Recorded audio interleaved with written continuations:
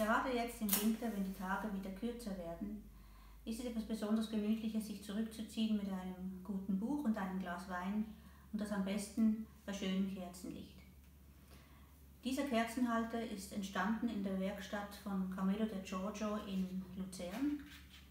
Er hat sich darauf spezialisiert, wunderschöne Wohnaccessoires herzustellen, und zwar alles in Handarbeit, hochwertig das Besondere ist, man kann auch persönliche Wünsche anbringen, zum Beispiel einen Schriftzug eingravieren lassen oder die Gegenstände noch veredeln mit ähm, Gold oder Silber oder auch in speziellen Farben.